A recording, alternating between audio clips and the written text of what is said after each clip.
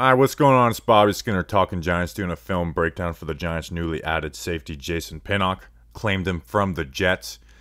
A surprising cut for the Jets, and if you're a Jets fan and you're just sad and watching this, you, you lost your guy. I'm surprised they did this because I watched Ashtyn Davis, who they kept on this, and he was he was horrible. But Pinnock was a fifth round pick uh, in 2021. He's a converted cornerback, so he is new to the safety position. Got a got some starting reps the last few games of the year, and I thought you know he he didn't look horrible. There's some bad plays on there, but for the most part he does his job. Nothing that nothing super flashy. You'll see some box reps that are pretty good, but he mostly plays that deep safety. But he's an athletic guy, um, and I think this is a out of the four Giants waiver claims, this is probably the guy who has the best chance of being an impact in a good way. Obviously, they've got a couple corners um, and this will be the only film breakdown I do unless that O lineman isn't as bad as his stats are. Um, so let's get into it. Make sure to like and subscribe to the channel, and let's get into it. We're going to go through some reps, and want to start with him as uh, in the box, just because there's that's where his best like highlight plays are in the few games he played. Even though that's not where he played the most, and this isn't technically box, but it's in the goal lines, number 41 right here. Just simple Read option. He's got the QB. Good recognition. Good job wrapping up. Comes down aggressive. Isn't sitting forever. Bam. Wraps him up. On a different drive in this game. Same exact thing. We got him lined up back here. Crashing down. The end has the running back. He's going to fit up uh, versus Trevor Lawrence in the read option. Comes down aggressively. Sits. Makes the tackle. And forces a fumble on this too. So he gets his right hand in on the ball, pops it out. Now the Jags end up recovering it and scoring a touchdown. But still, good stuff. He has. There's another play that we'll go through later. He had. I mean, he started three games and he had two forced fumbles and you'll see on another play where he goes for it. So that's something that's noticeable about him too, is he likes to poke the ball out. Lined up right here on this one. Simple, this one, nothing special, but this tight end looks like he's running around. It's run. Get your hands inside. Shed. Disengage. Come help out with the tackle. Next play lined up right here.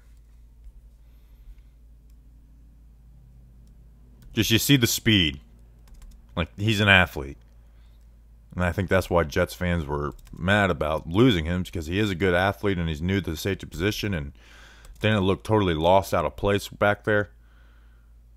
Just good speed and burst.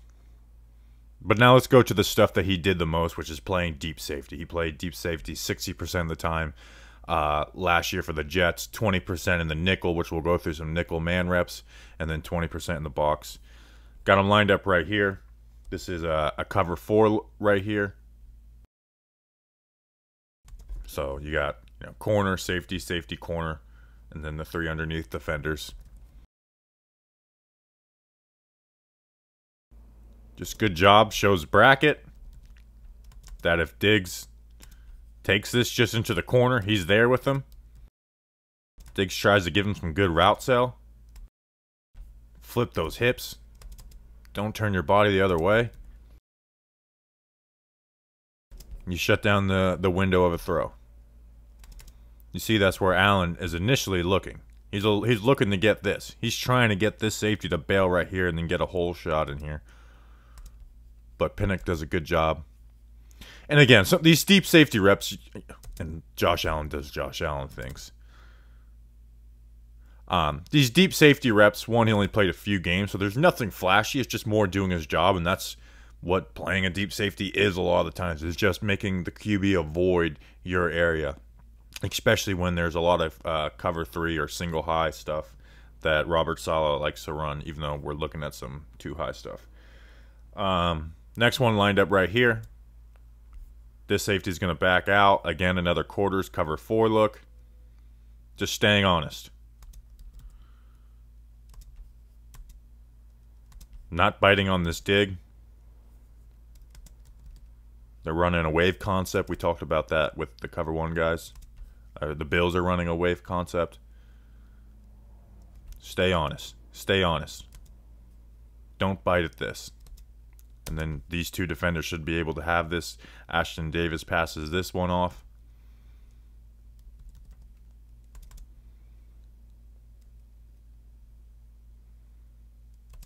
Great throw by Allen. But again, just being honest, taking away this. Because if he slams down on this and doesn't trust these defenders, well, Josh Allen's got a whole lot of field to work with to get that ball to Stefon Diggs.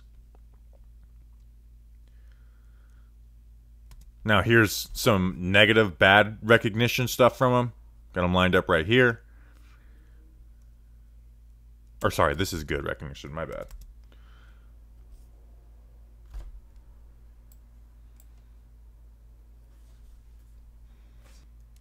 You got Davis running the post corner. Sure, they saw something on film. You got the under, and you see him. You see him communicate. Shuts down the throw over the top. Forces Allen to run, and you see this is the the play I was talking about. Tries to make a a swipe at the ball. One, I don't know if you want to take Josh Allen head up, and two, you're not allowed to just murder QBs. So I like the hey, get a, get a nice punch at that ball. Good job by Allen holding on to it, but a good punch on there. Okay, so some this is another cover four look. This is a bad job right here.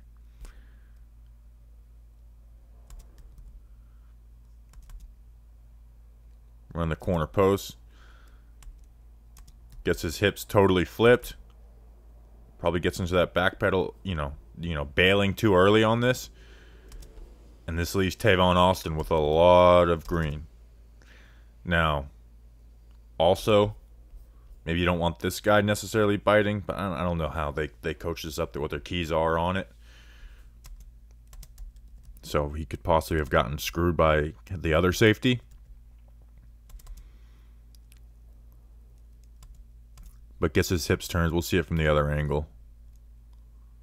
Ends up being an incompletion.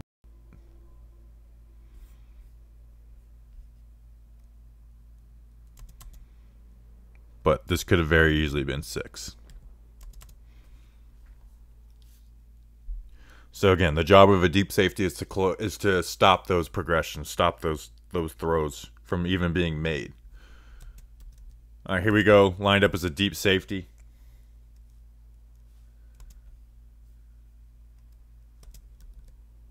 Trevor Lawrence rolls out, break on it. They're running cover three. Seams can beat that cover three, but he's got good speed. You see even Lawrence pump fakes on the throw. Just good job get being fast, getting over the top on it. This is the soft spot of the zone in the cover three. Good job stopping Trevor Lawrence from making this throw. These guys do a good job covering underneath, and it forces Trevor Lawrence to scramble. Here, lined up again in the deep safety, they're running cover three.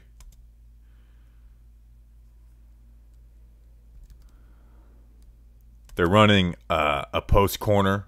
What it, usually a lot of times against cover three, you're going to run uh, this as the crosser, and this is a deep post. I think I'm trying to th- the the Darius Slayton touchdown versus Steelers Week One, 2020 was this was something this, but this is built off of it where you sail the post to try and get this safety to bail and then hit the corner.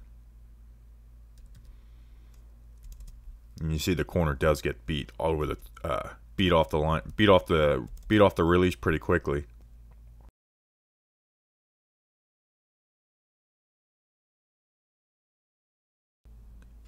This is not going to be your responsibility ever on this. You got to flip your hips and get out. You got to flip your hips and get out of the corner. Just kind of gets lost in it. Lost on lost, you know, looking back at the quarterback. Not able to get there in time. Corner gets called for pass interference. and they're down at the three yard line or whatever it is. So just being better recognizing that type of stuff. And again, new to the safety position. Like he's played three games of, you know, starting reps at safety in his NFL career. Next play lined up right here. You see him pop off the screen. Again, this is this is that Yankee concept where we got the post and then the crosser. So, you know, I was talking about how that other play is built off of off of this uh the Yankee play. This is that play. So on this one, gets his hips totally open, leaves him vulnerable, and then you have all this space.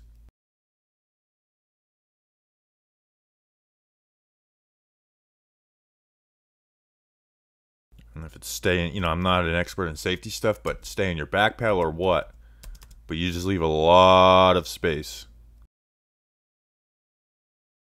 Receiver ends up dropping the ball, and he celebrates like he broke it up. I mean, he kind of did break it up. We'll see, but you do see the good speed and athleticism on on display there as well too.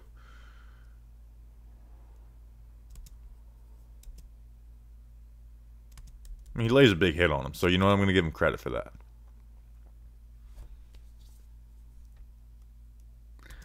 To go through some man coverage reps. Got him lined up down here in the nickel. This is third down. Sorry for the skip, but you just see he gets phys- gets phys- he likes to get physical when he's in man coverage. We'll see it from the other angle that's not skipping. But lined up here on Dawson Knox.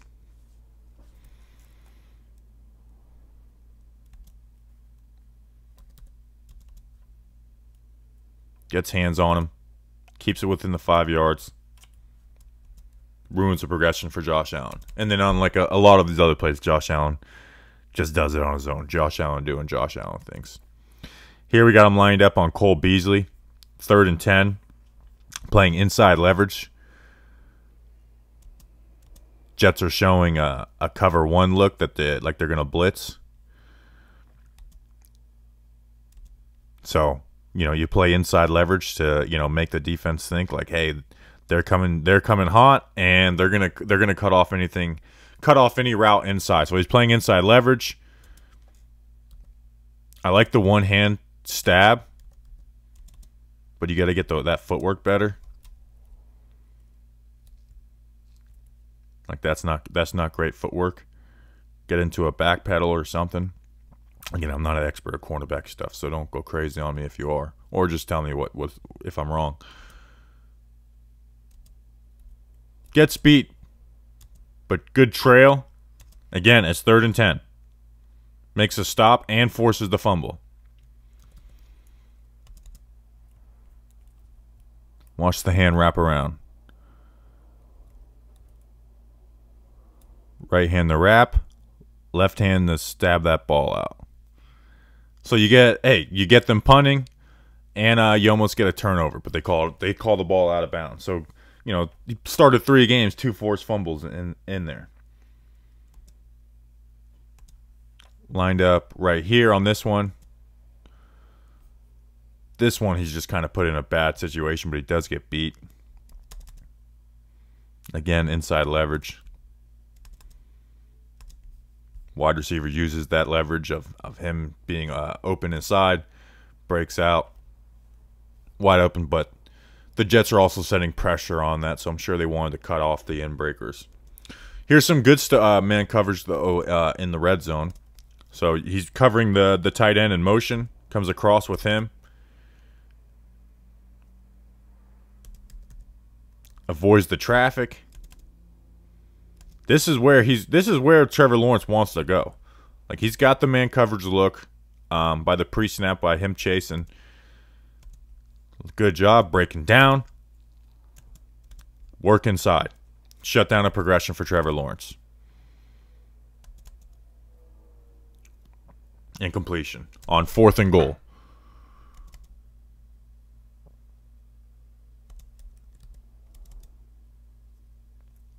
So good stuff there. And then the last uh, one we'll look at man coverage again in the red zone. Got them lined up right here or sorry, not man coverage. He's playing that that under just red zone. Shuts this down. That if they were running a rub route and trying to get uh, this tight end to sit, just shuts that down. You got this crosser, okay? I shut down that progression, or if, if that if he was to sit on that, get underneath on this. Get underneath on this. And Trevor Lawrence throws an insane I mean, come on, Lawrence. Just throws in the back of the end zone ends up being intercepted, I believe. I believe it count they called it incomplete, but still. So anyways, that's Jason Pinnock. Just wanted to give you a look on uh, a little look on him. Athletic, new to the position. Um, but I'm surprised the Jets uh, waived this guy when they had Ashtyn Davis still on their roster. So I think out of the be- out of the four guys they claim, this is the guy who has the best chance to make an impact in his career, and he's only in his second year. So appreciate you guys like and subscribe to the channel. You're going to see a lot more film once the season starts get uh, gets rolling. Appreciate you guys. See you on the next one. Until then, let's go Big Blue.